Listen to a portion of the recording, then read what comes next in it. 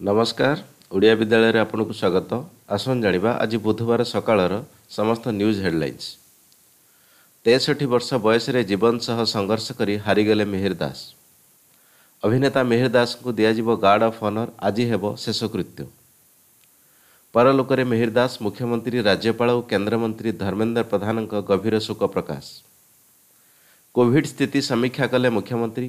ଆଗାମୀ କିଛି ସପ୍ତାହ ଗୁରୁତ୍ୱପୂର୍ଣ୍ଣ ସତର୍କ ରହିବା ପାଇଁ ପରାମର୍ଶ। ରାଜ୍ୟରେ ଚବିଶ ଘଣ୍ଟାରେ ପ୍ରବଳ ବର୍ଷା ସମ୍ଭାବନା ବିଭିନ୍ନ ଜିଲ୍ଲାକୁ ୟେଲୋ ୱାର୍ଣ୍ଣିଂ ଜାରି କଲା ପାଣିପାଗ ବିଭାଗ। ସୁନାବେଡ଼ା ଜଙ୍ଗଲରେ ବଡ଼ ଧରଣର କମ୍ବିଂ ଅପରେସନ୍ ତିନି ଘଣ୍ଟା ଧରି ଜାରି ରହିଛି ମାଓବାଦୀ ଓ ସୁରକ୍ଷାକର୍ମୀଙ୍କ ମଧ୍ୟରେ ଗୁଳି ବିନିମୟ।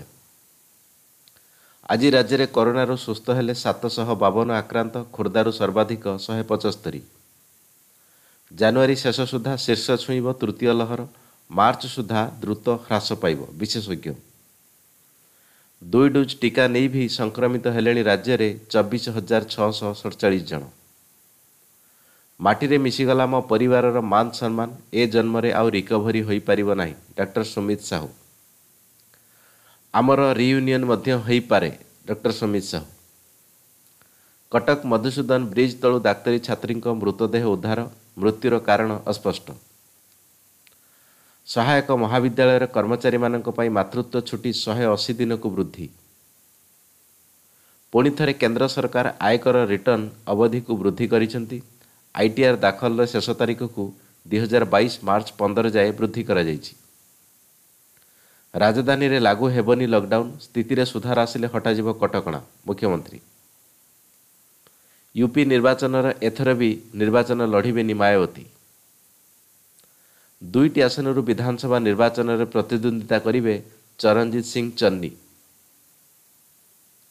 ମୁଖ୍ୟମନ୍ତ୍ରୀ ନ ହେବା ଯାଏ ଦାଢ଼ି କାଟିବି ନାହିଁ। କର୍ଣ୍ଣାଟକ ପ୍ରଦେଶ କଂଗ୍ରେସ କମିଟି ସଭାପତି ଡି କେ ଶିବକୁମାର ଉତ୍ତରପ୍ରଦେଶରେ ବିଜେପିକୁ ଲାଗିଛି ବଡ଼ ଝଟକା। ଏଗାର ବିଜେପି ବିଧାୟକଙ୍କ ସମେତ ସତର ବଡ଼ ନେତା ଦଳ ଛାଡ଼ିଲେ। ଶରଦ ପାୱାରଙ୍କ ବଡ଼ ବୟାନ ସମାଜବାଦୀ ପାର୍ଟିରେ ମିଶିବେ ତେର ବିଧାୟକ। ଇଭିଏମ୍ର ମତଦାନ ହେଲେ ଇଚ୍ଛା ମୃତ୍ୟୁ ଦିଅ ରାଷ୍ଟ୍ରପତିଙ୍କୁ ଗୁହାରି କଲେ ମୁଖ୍ୟମନ୍ତ୍ରୀଙ୍କ ବାପା। ଭୂପେଶ ବାଘେଲଙ୍କ ପିତା Nandkumar Baghel. I N S ବିଶାଖାପାଟନମରୁ ବ୍ରହ୍ମୋସର ସଫଳ ପରୀକ୍ଷଣ। ସଲମାନ ଖାଁଙ୍କ ମୁନିଙ୍କୁ ଭାରତରତ୍ନ ଡକ୍ଟର ଆମ୍ବେଦକର ସମ୍ମାନ ଫଟୋ ସେୟାର କରି ଭାଇଜାନଙ୍କୁ ଦେଲେ ଧନ୍ୟବାଦ। ଦକ୍ଷିଣ ଆଫ୍ରିକା ବିପକ୍ଷ ଦିନିକିଆ ସିରିଜ୍ ପୂର୍ବରୁ ଭାରତକୁ ଝଟକା କରୋନା ପଜିଟିଭ୍ ହେଲେ ୱାଶିଂଟନ୍ ସୁନ୍ଦର।